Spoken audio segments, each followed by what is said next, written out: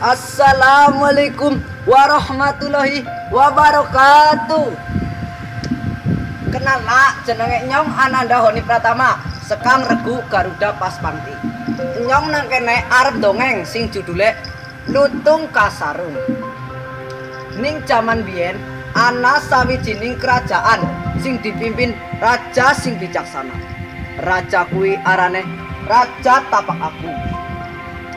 Raja Tapak Agung duweni anak loro, Purbararang lan adine Purbasari. Ning sawijining dina, Prabu Tapak Agung ngomong, mari Purbararang lan Purbasari. Aku wis tuwa, wis mangsane aku onta. Banjur Purbararang jawab, Kanjeng Rama, kula niki putrane Kanjeng Rama sing bareng. Haruse kula sing dados ratu teng. Banjur Prabu jawab maneh. Ora bae, aku wis mantep milih Purbasari. Banjur kaya gue, ning sawijining dina Purbararang ngamari omahe Nini Siti. Enten napa Tuan Putri? Purbararang jawab. Ngopi banjur Purbararang bali mari istana. Saat tekane istana Purbararang krungu ceritane Purbasari Purbasari sing lagi ngaca jelit aduh kulit aku kena apa? Duh gusti duh gusti. Purbararang duweni kesempatan mengusir Purbasari sedang istana.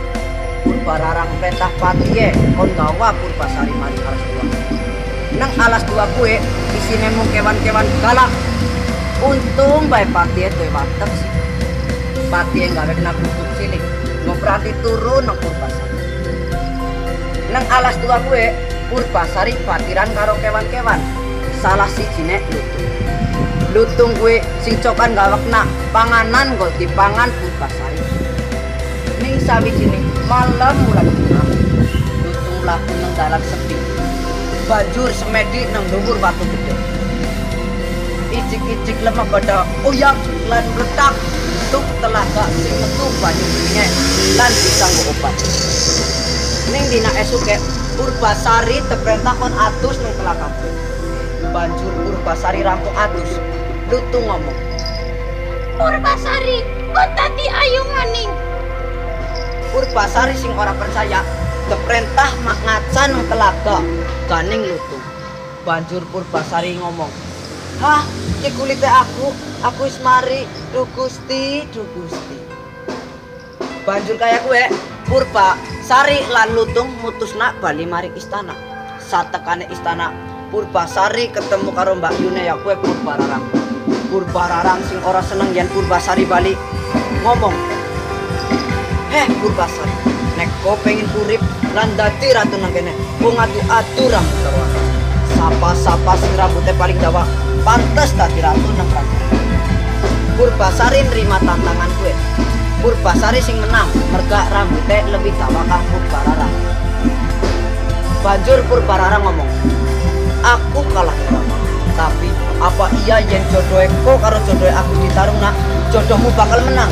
Nanti jodohmu lutung. Hahaha.